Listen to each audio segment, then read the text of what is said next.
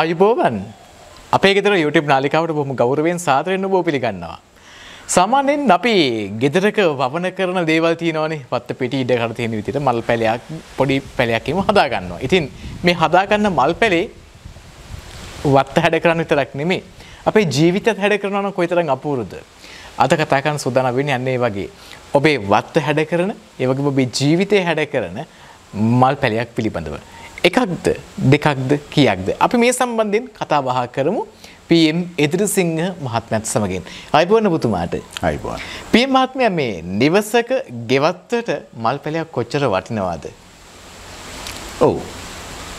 මල් පැලයක් කියලා කියන්නේ සාමාන්‍යයෙන් මල් ಜಾති හැටියට කහ රතු තැඹිලි විවිධාකාර පැහැයන්ගෙන් තියෙන මල් ඇත්තටම වගා කරන එකේ ප්‍රධාන හේතුව තමයි. අපේ ආදි මුතුන් මිත්තන් මේ මල් වගා කරන්න හේතු වන ප්‍රධාන කාරණය තමයි මේ පරාගලික සතුන් ආකර්ෂණය කර ගැනීම සඳහා. එතකොට එකක් ඒක එක හේතුවක්. ඊළඟට අලංකාරය. ඊළඟට මේ දෙකත් එක්කම පෝෂණය. ඔව්. දැන් බොහොමයක් මල් වර්ග තියෙනවා පෝෂණ ගුණයෙන් ඉතා ඉහළයි. එතනදි මේ වදමල් කියන එක පෝෂණ ගුණය සහ ඖෂධීය ගුණය ඉතාම ඉහළ ශාකයක් සහ මල් වර්ගයක්. ඒ නිසා අපට වදමල් කියන එක පැති ගණනාවකට ඒක යොදා ගන්නවා. දැන් මාරාන්තික දඬුවමක් දීමේදීත් වදමල් යොදා ගන්නවා වගේම පෝෂණ ඌනතාවයක් සඳහා යොදා ගන්නවා වගේම ඒ වගේම ආතරයිටිස් වැනි රෝග තත්ත්වයන් අ, සුවපත් කිරීම සඳහා ඒ වගේම ශරීර තෙතමනය ආරක්ෂා කිරීම සඳහා ඊළඟට මේකින් උන සෙම්ප්‍රතිශ්‍යාව වගේ රෝග තත්ත්වයන් පවා විවිධාකාර රෝග එකක් නෙමේ ශරීර වේදනාව දාහය තැන් බඩ පපුුව දැවිල්ල කියලා අපි සඳහන් කරන්න දාහය එතකොට දෙපතුල් වේදනාව දැවිල්ල මේ වගේ බොහොමයක් දේවල් සුව කර ගැනීමේ ප්‍රබල හැකියාවක් තියෙනවා වදමල්වලට. එතකොට මෙතනදි තවත් අ, නොකියම බැරි දෙයක් තියෙනවා. ද මේ වදමල් ගුණයෙන් සහ අ, ඒ වගේම අලංකාරයෙන් ඉහළ වගේම මේක අපට දැන් මේ දරුවෝ විවිධ ආහාර වල පැහැයට කැමති. ඔව්. ඒ නිසා අපට රතු බත්තු යන්න යොදා ගන්න පුළුවන් පෝෂණ ගුණයෙන් ඉතා ඉහළ සහ අ, රසයෙන් සුවඳින් අ, ගුණයෙන් සෑම දෙයින්ම දැක්- දකින දර්ශනයෙන් හරිම ලස්සන අලංකාරබත් එකක් උයා ගන්න පුළුවන් මේ වදමල් එක වදමලකින් පුළුවන් දහ දෙනෙකුගේ බත් එකක් ඉතාම ලස්සන සුන්දර පෝෂණ ගුණයෙන් ඉහළ කෑම එකක් හදා ගැනීමේ හැකියාව තියෙනවා. ඒ වගේම මේක පෙර ඉතිහාසයේ සඳහන් වෙන විදියට මරණය සඳහා ගෙනියන ඒ නිසයි මේකට මේ නම එන්නේ වදමල් කියලා. නමු නම එන්න හේතුව ඒකයි. ඔව්. වදකයන් විසින් වදදිදී මරණය හෝ දඬුවම් රාජ දඬුවමකට අරන් යන කෙනාට මේ වදමල් වලින් තමයි මාලයක් දාන්නේ.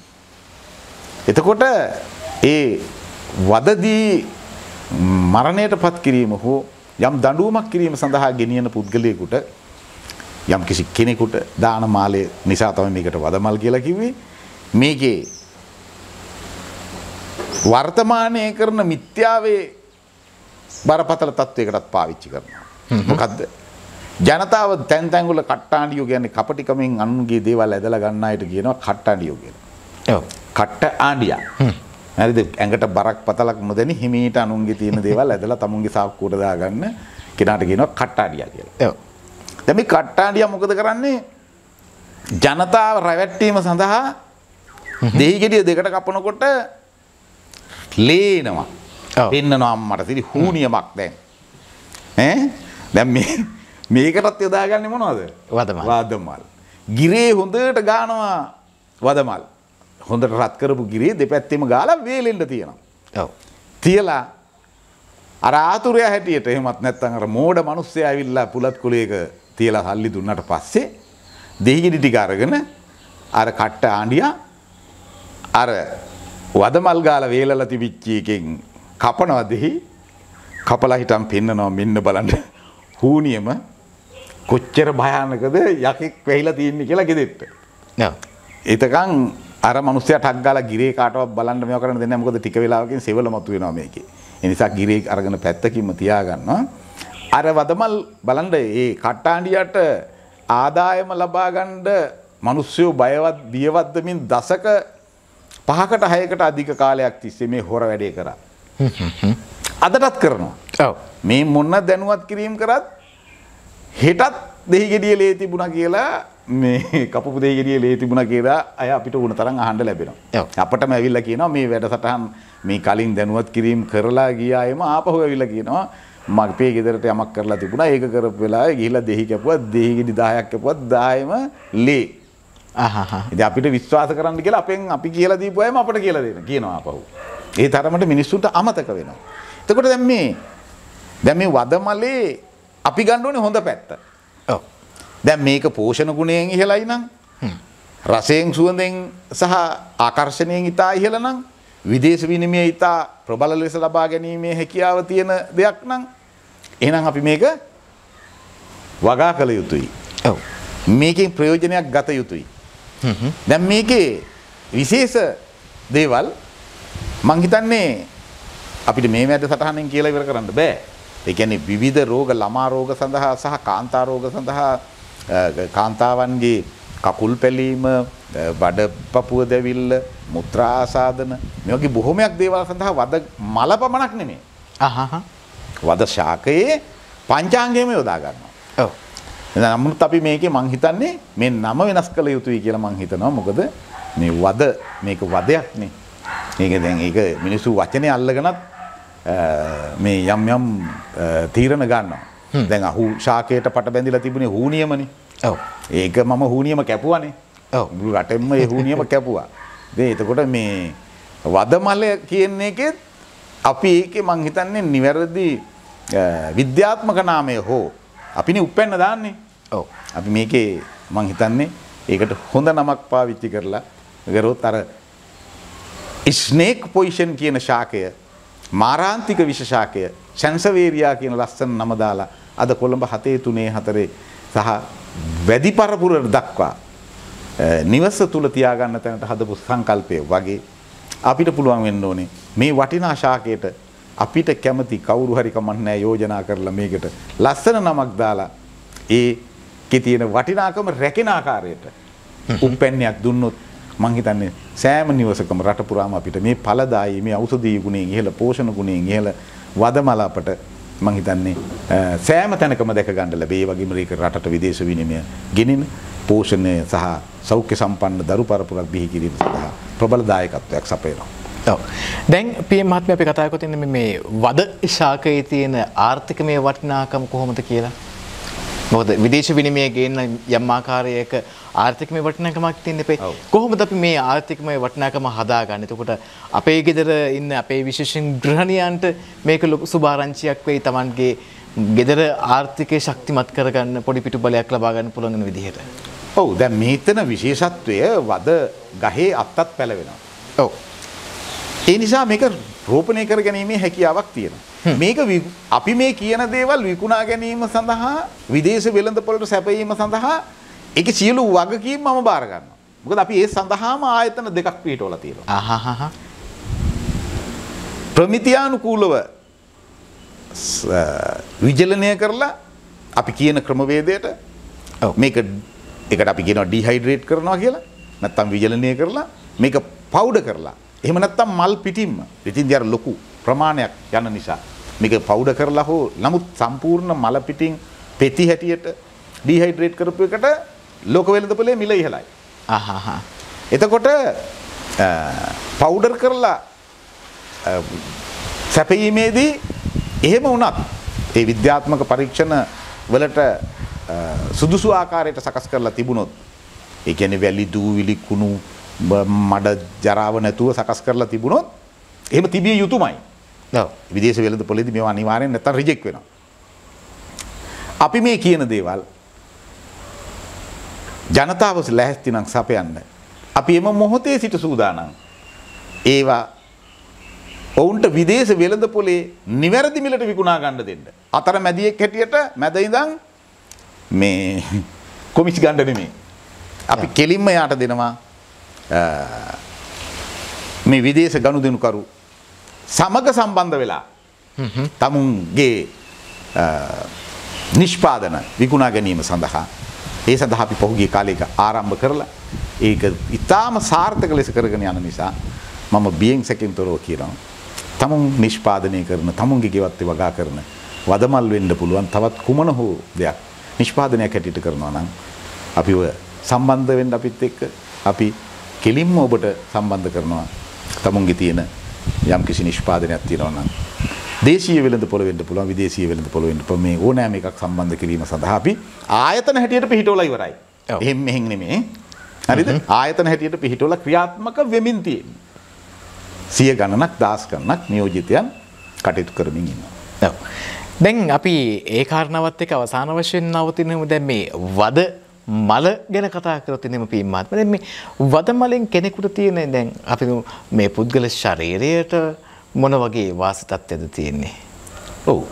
වද මල් පාවිච්චි කිරීමෙන් විශේෂයෙන් ශරීර තෙතමනය සහ විශේෂයෙන් හමේ පැහැය. ඊළඟට